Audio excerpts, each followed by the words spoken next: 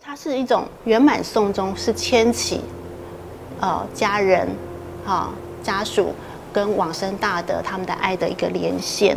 天堂雅器是间新型的纸扎艺品店，这些纸扎艺品将承载着对往生者的思念，陪伴他们到另一个世界。随着时代的变迁，人们对于纸扎艺品的需求也逐渐多元，因此有了新型的时尚纸扎，可以配合人们的需求。呃，烧纸扎的文化呢，它是一种传承，啊，对自己已故亲人的一种缅怀，那也是一种思念。那我记得我们在十多年前的时候，呃，一次的呃家族聚会，我们就是有跟我们这些舅妈啊聊到，我们从事的是从事广告设计的行业。那台北第一殡仪馆周边全部都是殡葬行业，所以他也是在服务殡葬这一块的东西。那他就跟我聊到说，殡葬的用品文化，那我们知道了，其实我们的殡葬用品是可以把它文创化的。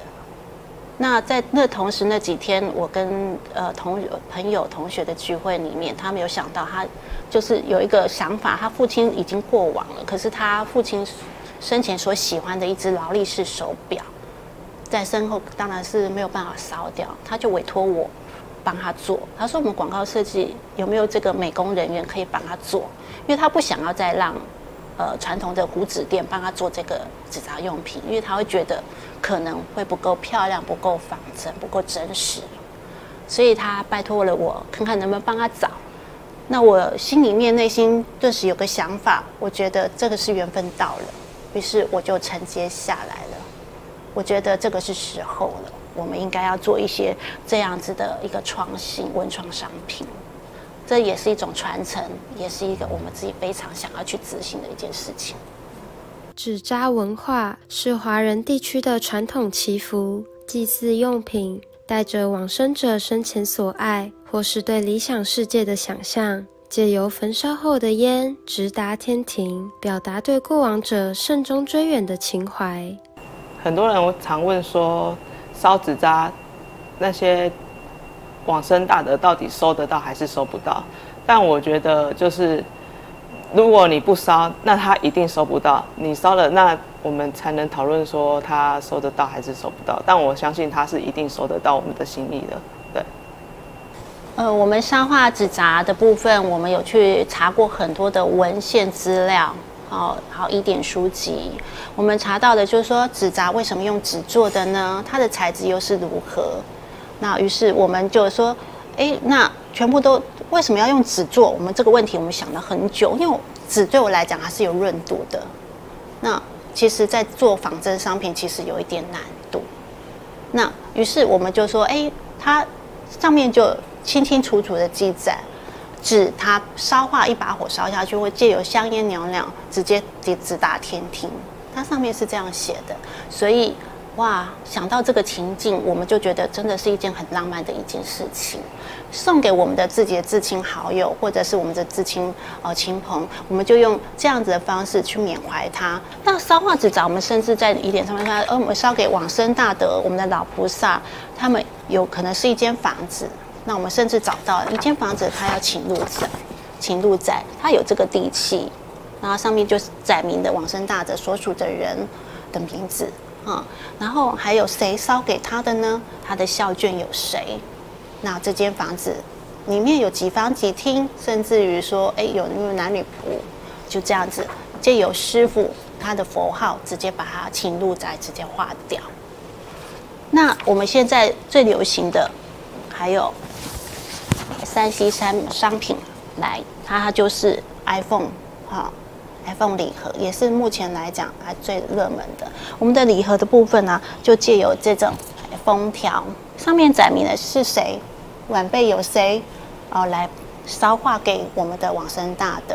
因为现在的现今的社会，我们也想到一件事情，应该很多的呃告别式礼仪现场，其实没有人，几乎很少人在收电仪了。不如我们就有借这个送个礼物，把它当成礼物送给往生大德，对他的心意，我觉得这也是一件非常美的事情。相较于传统纸扎，新型纸扎可以尽可能的去满足客人的需求，去客制化商品。在充分和客人沟通后，设计师们在这有限的空间里，一手打造连接家属与过往者的桥梁。每次承接一个案件，我们都会听到家属的故事，还有沟通。我们甚至于每一个每一个细节，我们都要了解的非常的清楚。那这前前后后到我们制作到完成，有可能甚至一个礼拜，甚至二十天，甚至三十天。就是我们每次接到的案子不一定是我们熟悉的东西，像高尔夫球杆，在我还没有接触高尔夫球这个案子之前，我不知道它原来高尔夫球杆它有分那么多种尺寸，然后每种尺寸它都有它不一样的功能，所以我们在做之前都要先搜寻资料，然后做足功课再开始制作，或是像汽车，每一款汽车它都有不一样的。特色跟风格，所以我们要制作它，制作出它的特色。就算没有 logo，别人一眼也看看得出来它是哪一款车子。然后家属收到才会觉得很感动，因为那可能是他跟往生亲友生前一起开的车，一起出去玩，啊，或是他往生大的他生前最宝贝的车子。对，每个作品都承载着不同的故事，在与客人沟通之中。看着家属将思念与悲伤借由回忆化作微笑，对他们而言是替客人完成梦想，而对家属而言却是放下执念。其实我们每一间房子都有它的故事，对我们没有那么厉害，都可以研发到这么的多。我们的我们可以研发基本的形式，可是为什么可以扩编到银行天下，到双银会馆，到任何可以加大版的？其实背后都有他们家人的故事。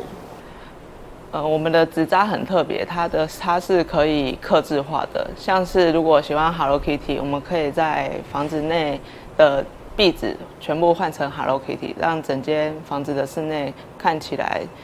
就是有粉红色的温馨感。那令我比较深刻的是，我们接到一个家属的电话，他说王生大的生前非常喜欢犀牛，所以他就是希望他可以到天堂，可以继续跟他喜欢的动物在一起。所以他希望我们可以在他的房屋的庭院打造一个小牧场，然后里面放了八只犀牛。